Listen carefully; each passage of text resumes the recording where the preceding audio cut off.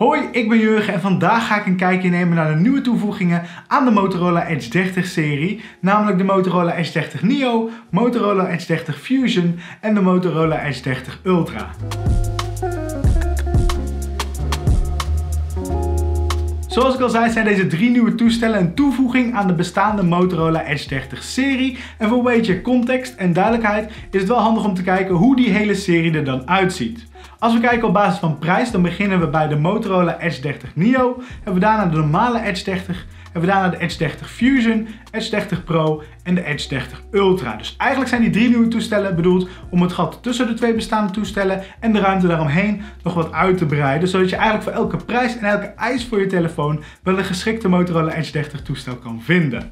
In deze video ga ik het echt hebben over die drie nieuwe, dus de Neo, Fusion en Ultra. Maar wil je nou nog meer zien over de normale Edge 30 of de Edge 30 Pro? Klik dan eventjes op het i'tje hierboven, want daar heb ik ook al een video over gemaakt. Laten we dan gaan kijken naar het design van die drie nieuwe toestellen. Zeker kan je zien dat het deel is van dezelfde serie. Heel veel dingen komen overeen. Maar natuurlijk zitten er ook allemaal kleine verschillen tussen alle modellen. Laten we dan beginnen bij de kleinste van de drie. En dat is de Neo. Die ligt heel erg lekker in de hand. Juist omdat hij wat kleiner is, makkelijk vast te houden en ook lekker licht. Wat ik persoonlijk wel fijn vind. En dit is een platte telefoon, dus een plat scherm en een relatief platte achterkant. Wat sommige mensen natuurlijk liever hebben, uh, dan ben je bij deze goed uit. Het voelt in ieder geval heel fijn aan en ik vind het design er ook wel tof uitzien. Hij is beschikbaar in twee verschillende kleuren, in het zwart of in het paars zoals ik hem hier heb. Wat ik persoonlijk wel tof vind, toch een beetje unieker dan uh, de standaardkleur. Maar als je er bijvoorbeeld een hoesje mee gaat doen, maakt het natuurlijk helemaal niet uit. En voor de rest, ja, gewoon een strak design, camerablok, mooi aan de linkerkant bovenin weggewerkt. En ziet er gewoon hartstikke tof uit. Als we dan kijken naar de Fusion, dan lijkt hij er redelijk op. Camerablok op de vergelijkbare plek. Alleen natuurlijk iets anders vanwege andere camera's. Maar het grootste verschil is toch wel dat dit iets meer naar de rand afloopt. Oftewel naar de Edge. En dat is natuurlijk vanwege dat het de Edge 30 serie is. En dat zie je ook wel terug. Het scherm loopt dus iets gebold richting de rand van de telefoon. En aan de achterkant gaat dat dus weer eigenlijk weer terug richting de platte achterkant van de telefoon. Ik vind het persoonlijk niet zo heel erg. Hij houdt best wel goed vast. En je voelt ook wel dat hij iets meer gewicht heeft dan zijn kleinere broertje. En dan natuurlijk nog de Ultra. En dat is de grootste van deze drie. En ja, die loopt ook weer een beetje af richting de rand van de telefoon. Dus die edge komt ook hier echt wel in terug. Maar sommige mensen vinden dat wel fijn. Het ziet er in ieder geval echt heel erg tof uit. En voor de rest is het camerablok natuurlijk ook iets anders. Iets groter camerablok. En hij voelt ook net wat zwaarder aan. Maar ook wel wel lekker stevig in de hand. Dan hebben we het gehad over design, maar misschien nog wel het belangrijkste deel van het design is natuurlijk het display van de telefoon. En we hebben het er al een klein beetje over gehad, over uh, platte scherm en de schermen die wat meer over de rand overlopen en welke telefoon kleiner of groter is. Maar laten we er nog eventjes goed naar kijken. Bij de NIO vinden we dan een 6,28 inch Full HD OLED scherm met 120 Hz refresh rate. En het is best tof om dat terug te zien in deze prijsklasse, want vaak is dat de specificatie die we op flagships terugzien. Dus op een uh, middenklas toestel zoals dit is het heel fijn dat je al 120 Hz refresh rate hebt. Omdat het een stuk sneller is dan de standaard 60 Hz. En dat zorgt er eigenlijk voor dat alle bewegingen op je scherm gewoon sneller en soepeler aanvoelen.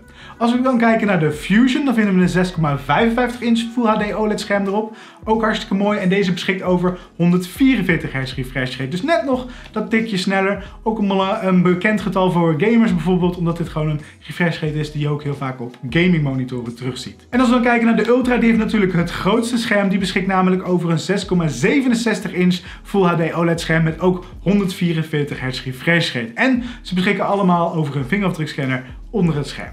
Dan zitten er natuurlijk ook camera's op deze telefoons, dus laten we daar ook even een kijkje naar nemen. Want er zit zeker wat verschil tussen de verschillende toestellen ook wel te verwachten natuurlijk. Elke prijsklasse wat anders bieden en wat andere opties die ze bieden. Als we kijken naar de NIO vinden we de meest basisopties eigenlijk. Een hoofdcamera van 64 megapixels en een 13 megapixel ultra-wide camera. En aan de voorkant natuurlijk een 32 megapixel selfie camera. Betekent eigenlijk dat je gewoon een beetje de basis setup hebt wat je tegenwoordig op telefoons kan verwachten. Een hoofdcamera voor je beste kwaliteit, 64 megapixels. Dus in ieder geval genoeg informatie die gecombineerd kan worden voor een mooie scherpe foto. En dus een ultra-wide als je net wat breder wilt gaan. Dan als we kijken naar de Fusion zien we een 50 megapixel hoofdcamera, 13 megapixel ultrawide en een dieptesensor achterop zitten en een 32 megapixel selfie camera.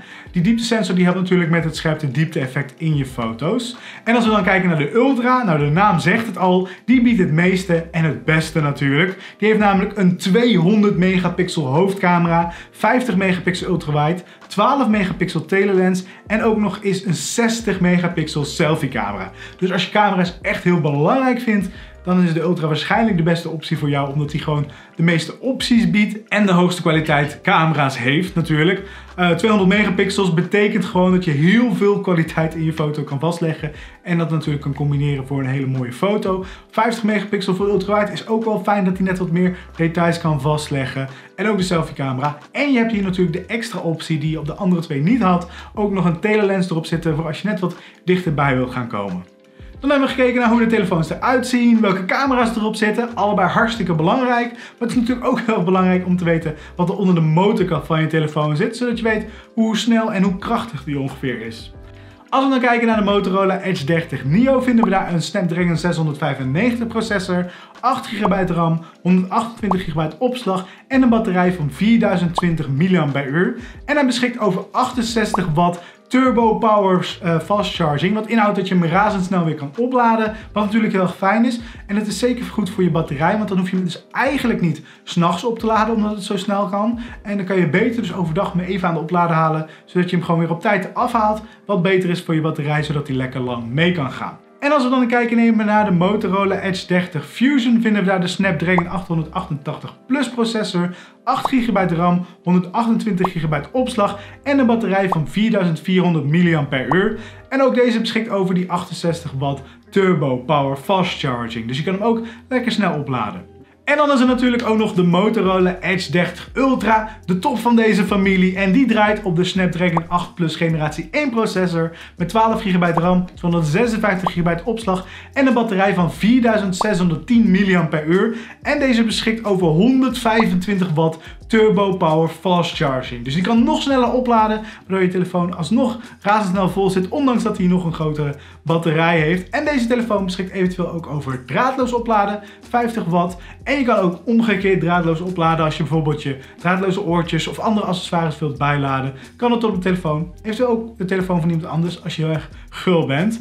En dat was het dan ook wel weer voor de Motorola Edge 30 Neo, Fusion en Ultra. Uh, eigenlijk de nieuwe toevoegingen dus aan die Motorola Edge 30 serie. En dit zorgt ervoor dat eigenlijk op elke prijs en elke eis wel een Motorola Edge 30 toestel is wat voor jou geschikt is. Hopelijk vond je dit een leuke video. Als dat zo is, vergeet dan niet te abonneren op ons kanaal zodat je niks mist van al onze nieuwe video's. En dan zie ik je ook weer de volgende keer.